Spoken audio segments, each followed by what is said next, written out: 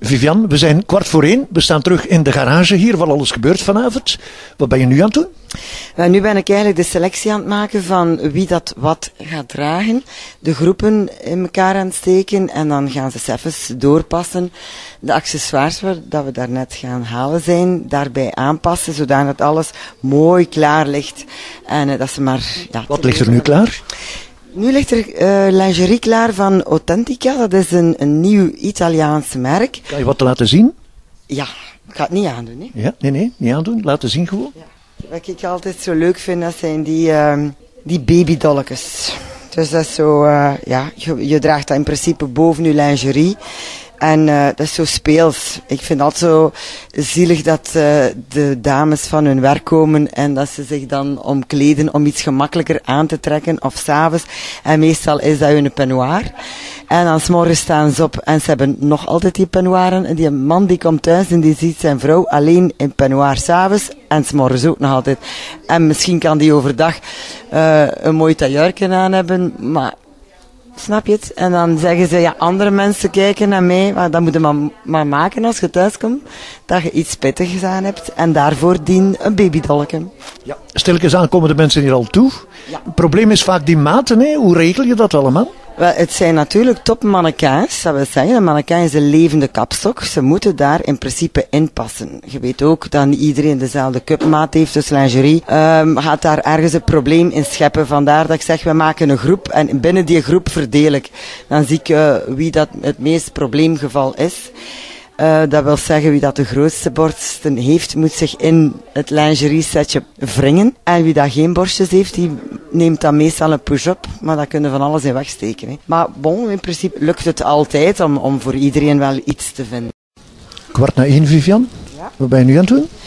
Ah, ik ben een keer aan het kijken hoeveel jeansbroeken dat we eigenlijk mee hebben. Omdat, uh, dat is een nieuw merk, Ogio.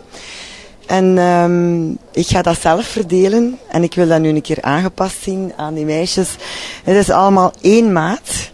Maar we hebben in het verleden al de ervaring gehad dat die broek hem eigenlijk gemakkelijk zet. En dat bepaalde uh, stijlen van broeken beter voor dit meisje gaan, beter voor dat. Dus nu gaan we zo'n beetje de verdeling doen van de jeansbroeken en ze mogen beginnen passen. Italiaanse collectie? Nee, het is een Nederlandse collectie. Um, twee uh, identieke tweelingen meisjes van 26 jaar. Die dit, uh, ja, het eentje heeft uh, voor modeontwerp gestudeerd en het ander die um, helpt haar een beetje financieel. Dus het is eigenlijk een, een complementair duo.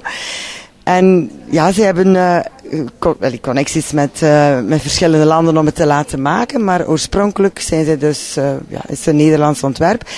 Maar ze hebben contact met Swarovski, dus ik ben nu ook naar de fabriek geweest om te kijken hoe dat, dat er allemaal opgeplaatst wordt en um, met hoeveel zorg dat dat gebeurt. En het is echt pure klasse. En er zal ook een label bij zitten, er zullen ook aparte steentjes bij zitten. Het gaat, um, ja, het gaat een toffe collectie zijn. En die wordt voornamelijk gepromoot door 14 BV's.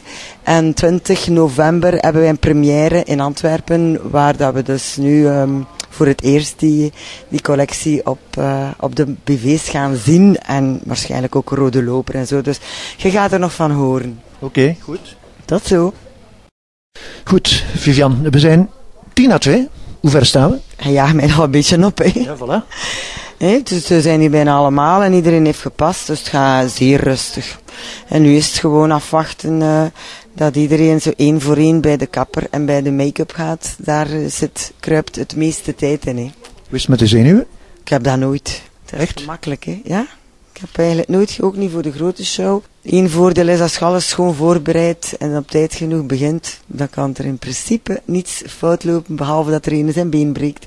En vandaag heeft er iemand zijn arm gebroken. We hebben het al gezien in een van je beste, eigenlijk? Uh, dat mag ik niet zeggen. Ik wel. ja, het is een tof. Wat gaan we nu doen? En nu ga ik een keer naar beneden gaan kijken hoe ver dat zit met de make-up. En, en uh, dan een keer even uh, wachten tot wanneer, eigenlijk blijf ik hier tot, tot wanneer dat alles hier weg is. Dan weet ik dat iedereen alles heeft. En dan ga ik zien hoe ver het vordert. En om vier uur is het repetitie. Dus dan gaat iedereen uh, in zijn kledij kruipen. En dan gaan we een beetje een choreografie in elkaar steken. En um, voilà. Goed, we gaan mee naar beneden. Het is goed.